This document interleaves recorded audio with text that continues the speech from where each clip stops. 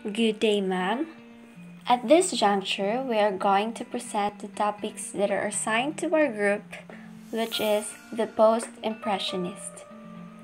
So, Post Impressionism is an art movement that developed in the 1890s. It is characterized by a subjective approach to painting, as artists opted to evoke emotion rather than realism in their work. While their styles therefore widely varied, paintings complete in the post-impressionist manner share some similar qualities. These include symbolic motifs, a natural color, and painterly brushstrokes. So post-impressionists extend impressionism while rejecting its limitations.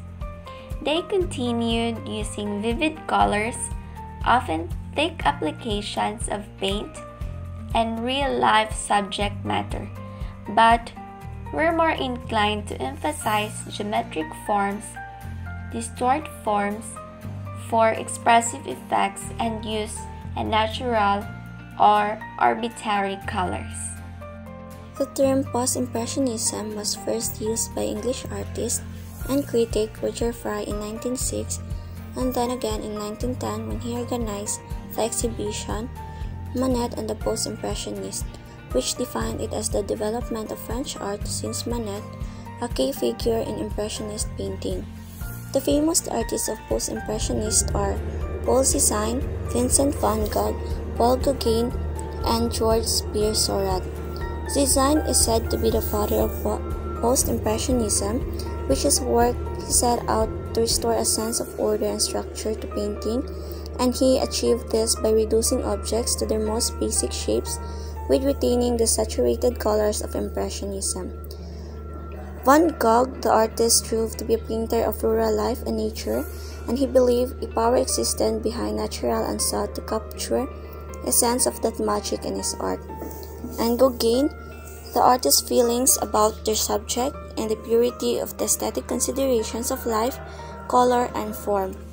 And Pierre Seurat, a French painter and draftsman, most known for his innovative use of drawing media and fun devising the techniques known as chromoluminarism, a style of painting involves separation of colors into individual dots. Here our notable artworks for the post-impressionist. First, for the painting and drawing, we have the Scream, which was made on 1893 by Edward Munch.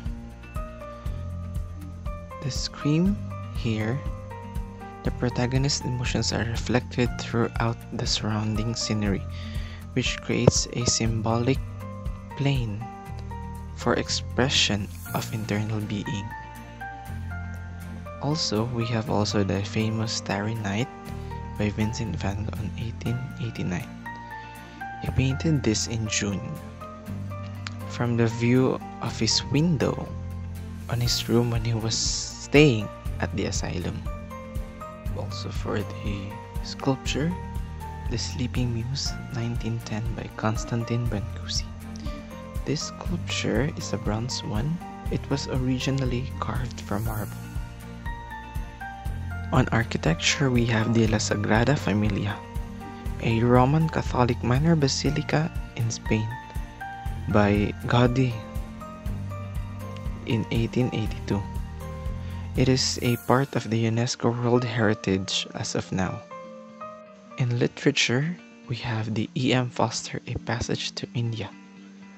This talks about the Indian independence between the British Empire in 1920s. For music, we have The Firebird Suite by Stravinsky. And last for our photography, we have The Pond in the Moonlight by Edward Steichen. This photo this picture features a forest, a forest across a pond with a part of moonlight reaching to the forest. So those are the most notable artworks from the post-impressionist. Thank you.